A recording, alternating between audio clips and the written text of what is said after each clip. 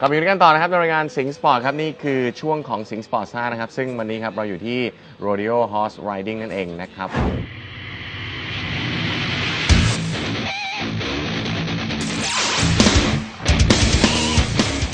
วันนี้ครับเราอยู่กับคนคนหนึ่งนะครับที่พี่คนนี้ก็เป็นผู้จัดการของที่นี่ด้วยนะครับ ก็คือพี่จิ๊บนั่นเอง สวัสดีครับพี่จิ๊บครับสวัสดีครับพี่บอสนะคฮะรับวันนี้เรามีขอบคุณกๆเลยนะฮะคนสวยคนนี้นะครับคั่นกลางระหว่างเราอยู่นะครับพี่จิ๊บครับ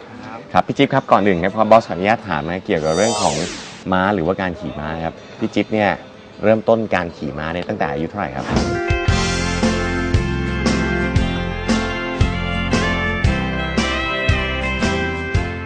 กีฬาขี่ม้านั้นครับถือได้ว่าเป็นกีฬาชนิดเดียวครับ ที่คนกับสัตว์อยู่ในทีมเดียวกัน โดยชัยชนะครับจะเกิดขึ้นได้ก็ต่อเมื่อ สัมพันธภาพครับที่มาจากความเชื่อใจและการยอมรับซึ่งกันและกันนะครับ ระหว่างคนกับม้า นอกจากนี้ครับยังถือได้ว่าเป็นกีฬาที่ชายและหญิง มีความเท่าเทียมกันในทุก ๆ ด้านครับและสามารถเข้าร่วมการแข่งขันได้ด้วยกัน โดยไม่มีการแบ่งแยกเพศอีกด้วยครับ pretty view. And I don't own no fancy clothes.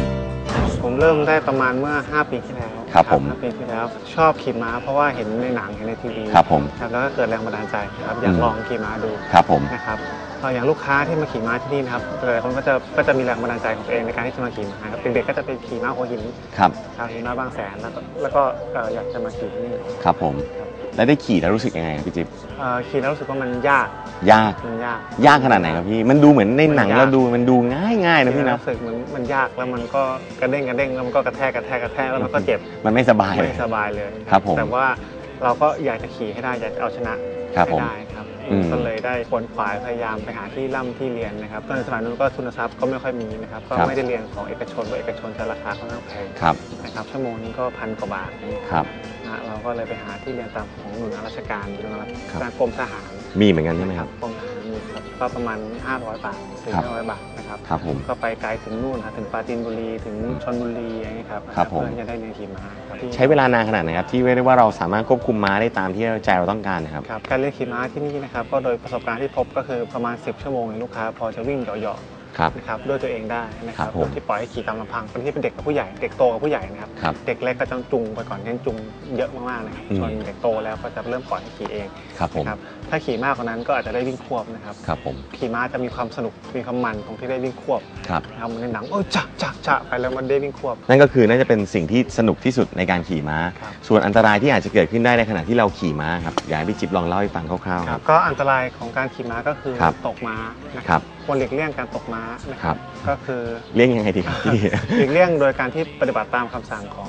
คุณครูที่ครับสอนที่ที่กำกับการสอครันบนะครับแนะนำให้ให้ดีๆนะครับข้อห้ามต่างๆนานานะครับครับเช่นการไปยืนท้ายม้านะครับครับก็ต้อผมงระวังนะครับครับ ม้ากัดนะครับก็ต้องระวังอย่าไปเรื่องกับเขาต้องดูอารมณ์เขาด้วยอืม การขี่ม้าเข้าไปใกล้กับม้าตัวอื่นนะครับครับ เขาอาจจะทะเลาะกันก็ได้ม้าม้าม้าม้าต่อม้าทะเลาะกันครับผม นะครับก็อาจจะเกิดการเตะกันก็ได้ ซึ่งอาจครับ จะทำให้มันมาโดนเราอืมนะครับก็ต้องระวัง ครับ โดยสัญชาตญาณของม้าจริงๆเนี่ยเขาเป็นยังไงครับพี่เขาจิตใจเขาเป็นยังไงบางคน หรือว่าบางตัวเนี่ยก็แตกต่างกันออกไปครับ ครับอย่างเช่นยกตัวอย่างตัวเนี้ยชื่อชิวๆใช่ไหมครับเขียนอยู่ ม้าชิวๆครับครับผม ครับ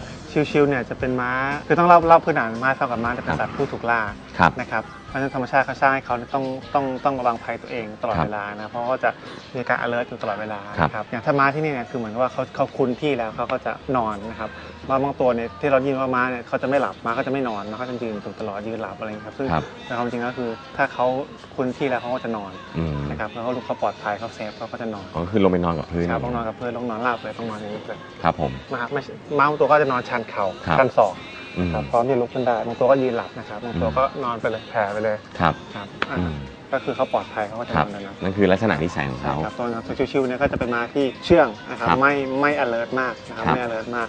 ก็ทำให้เขาไม่ไม่ตื่นตกใจอะไรได้ง่ายๆนะคครัรับบผม ถุงพลาสติกปลิวเข้ามาเนี่ยบางทีก็ตกใจอืม เอ่อเห็นสิ่งของแปลกๆ ซึ่งแต่เดิมไม่ไม่มีวางอยู่ตรงนี้ครับ นะครับสมมติว่าเขาวิ่งอยู่ทุกวันอยู่ดีมีอันนี้มาตั้งอยู่ วิ่งวิ่งมาอาจจะหลบเลยก็ได้หลบอืม นะครับไม่รู้ว่ามันคืออะไรอืมครับก็ครับนี่คือธรรมชาติของของของม้าครับผม นะครับสัตว์ที่ต้องเอ่อระวังตัวเองนะครับจากผู้ล่า แล้วก็ขึ้นอยู่กับม้าอย่างที่พี่จิ๊บได้บอกไว้นะครับ จริง ๆ อย่างคนที่จะมาเรียนการขี่ม้าพี่จิ๊บครับ เขาจะต้องมีการเตรียมตัวอะไรยังไงบ้างครับ การขี่ม้านะครับก็ให้เตรียมตัวเรื่องของการแต่งกายครับส่วนบุคคลให้เหมาะสมกับการขี่ม้านะครับ ก็ครับเอ่อหลีกเลี่ยงเสื้อคอกว้างนะครับ เพครัราะบว่าอาจจะต้องก้มๆมืออาจจะโป๊นะครับ อ๋อ แล้วก็เอ่อกางเกงควรเป็นกางเกงขายาวครับนะครับกางเกงขายาวเพื่อหลีกเลี่ยงการเสียดสี